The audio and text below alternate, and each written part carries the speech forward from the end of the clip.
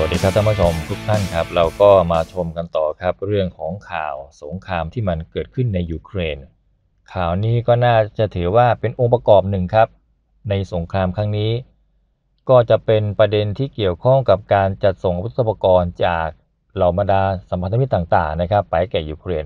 หนึ่งในนั้นก็คือรถถังหลัก แต่ว่าในทางเดียวกันนั้นครับรัสเซียเนี่ยก็ต้องการทำสงครามจิตวิทยา กับฝั่งตะวันตก ที่กำลังออกตัวนะครับส่งรถถังเหล่านี้ให้แก่ยูเครน รัสเซียต้องการทำสงครามจิตวิทยาในแง่ของการที่ทำให้ตะวันตกมองว่า อาวุธพวกนี้นะครับมันก็สามารถถูกทำลายได้เช่นเดียวกัน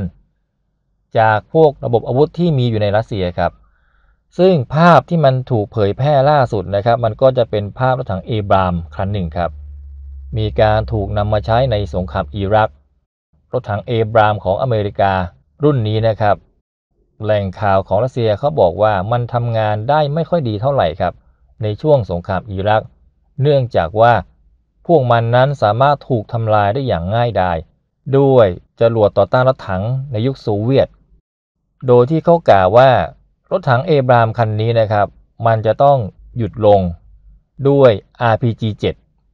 รวมถึงกระสุนมาตรฐานหลากหลายรูปแบบนะครับที่ กองทัพอิรักนะครับนำไปใช้ต่อกรกับฐานสหรัฐในสมรภูมิอิรัก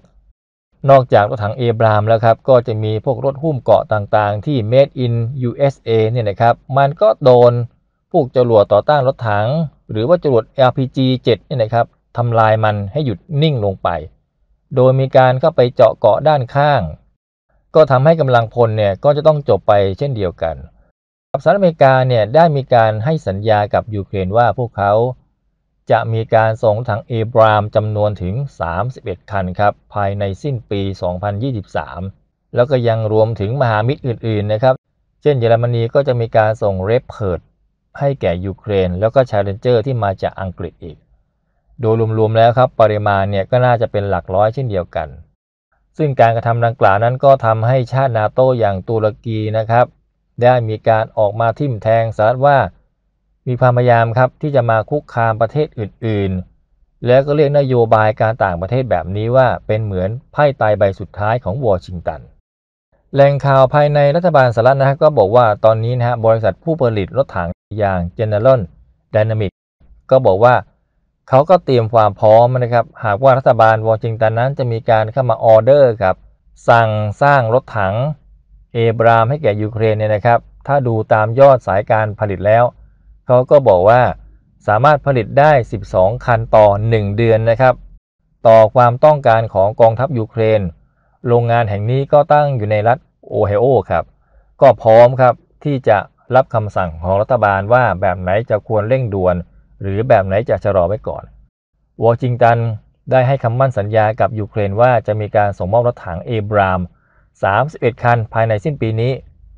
การตัดสินใจดังกล่าวนั้นมันเกิดขึ้นนะครับในช่วงกลางเดือนมกราคมที่ผ่านมา หลังจากที่เยอรมนีแล้วก็อังกฤษนะครับก็อนุญาตที่จะส่งรถถังหลักให้แก่ยูเครน แต่ว่าอย่างไรก็ดีครับ รัฐบาลวอชิงตันนั้นก็ยังเน้นย้ำนะครับว่าการจัดส่งรถถังเอบรามเนี่ยจะไม่มีข้อผูกมัดนะครับ เกี่ยวกับกรอบเวลาอย่างแน่นอน มันขึ้นอยู่กับว่าอเมริกานั้นจะส่งเมื่อไร แล้วก็เรื่องของแหล่งข่าวนะครับถึงความเป็นไปได้ว่ารถถังเอบรามนะครับที่สหรัฐอเมริกาเนี่ยจะส่งให้ยูเครน มันจะเป็นซีรีส์ไหนครับ บ้างก็ว่าจะเป็นซีรีส์หนึ่งบ้างก็ว่าน่าจะเป็นซีรีส์2จากคลังแสงกองทัพสหรัฐ แต่ถ้าดูตามเนื้อหาแล้วครับเขาก็บอกว่าน่าจะเป็นซีรีส์2ซะมากกว่า ถึงแม้ว่าซีรีส์2เนี่ยมันจะมีเรื่องของเกราะที่เป็นความลับก็ตามแต่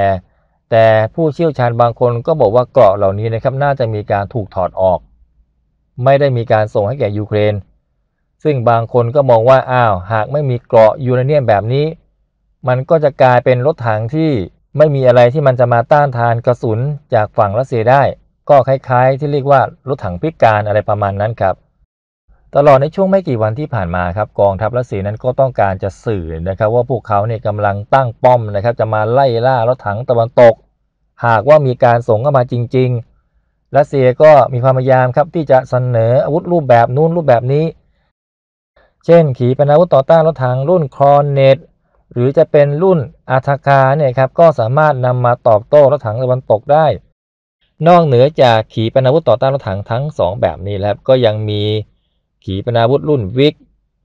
ก็ใช้สำหรับการติดตั้งบนพวกเฮลิคอปเตอร์โจมตีต่างๆนะครับ มันก็มีอำนาจในการขับไปทะลุทะลวง เจาะเกราะ ระเบิดรถถังเยอรมนีอังกฤษ สามารถโจมตีได้อย่างง่ายดายครับ แล้วเขาก็ยังมีการกล่าวถึงว่าประสบการณ์การต่อสู้นั้นก็จะแสดงเห็นว่ารถถังเหล่านี้นะครับ มันจะมีการถูกทำลาย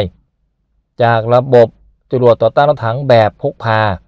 แถมเป็นแบบเก่าด้วยครับ ซึ่งดูแล้ว ง่ายมากครับสำหรับกองทัพรัสเซีย รถถังตะวันตกเหล่านี้นะครับได้มีการถูกดูถูกดูแคลนจากฝั่งรัสเซียว่ามันไม่มีการป้องกันอย่างดีนะครับ เพราะว่าตะวันตกเนี่ยกักเทคโนโลยี คงไม่มีการนำเอาเทคโนโลยีแบบเต็มสูบนะครับมาติดตั้งบนรถถังแบบนี้อยู่แล้ว เขาต้องการจะสื่อว่าเหมือนยูเครนนะครับกำลังขับลงศพ แล้วก็เข้าสู่สงครามมาเป็นเหยื่อพวก จรวดต่อต้านรถถังในฝั่งของรัสเซียบ้างครับในงานนี้ เหมือนเป็นการตีกินคืนในช่วงปีที่แล้ว โดยเฉพาะช่วงต้นสงครามนะครับรถถังรัสเซียเนี่ยจำนวนมากครับ โดยเฉพาะ T72 เนี่ยกลายเป็นเหยื่อครับ ให้แก่พวกจรวดต่อต้านรถถังที่มาจากสหรัฐก็คือเจฟรินหรือว่าจาวาลิน หรือจะเป็นเอ็นรอที่มาจากอังกฤษ รวมทั้งพวกขีปนาวุธต่อต้านรถถังอื่นๆนะครับที่ชาติพันธมิตรส่งให้ ต่างฝ่ายก็ต้องการไปลองของ ส่วนหนึ่งก็เป็นการขายอาวุธไปในตัวนะครับ ว่ามันเนี่ยใช้งานได้สักเพียงใด สิ่งที่มันจะตามมาก็คือเรื่องของออเดอร์ครับ ก็มีการทะลักหลั่งไหลกันอย่างมากมายครับ สั่งซื้ออาวุธที่มาจากตะวันตก ต้องขอขอบคุณท่านผู้ชมทุกท่านครับ ที่มีการเข้ามาสนับสนุนช่องของเราครับ ด้วยการสมัครเป็นสมาชิกรายเดือนครับ หลังจากที่มีการสมัครเป็นสมาชิกแล้วครับ ก็จะยังไม่มีการจัดเก็บเงินค่าสมัครสมาชิก แต่ว่าหลังจากนั้นประมาณ 1 เดือน ก็จะมีการเก็บค่าสมาชิกเป็นเงิน 35 บาทครับสำหรับผู้ที่สมัครเป็นสมาชิกเรียบร้อยแล้วครับ ก็จะมีการได้รับเครื่องหมายเป็นพิเศษจากทางช่องของเราครับ ทุกครั้งครับที่ท่านมีการเข้ามาคอมเมนต์ในช่องนี้ครับ มันจะมีการปรากฏสัญลักษณ์ครับ บริเวณด้านท้ายของชื่อท่าน มันค่อนข้างที่จะโดดเด่น สัญลักษณ์แบบนี้ครับ มันจะมีการปรับเปลี่ยนไปในช่วงทุกเดือน จนถึงปีครับ ว่าท่านนั้นเป็นสมาชิกที่มีการเหนียวแน่นกับช่องเราได้มากน้อยสักเพียงใด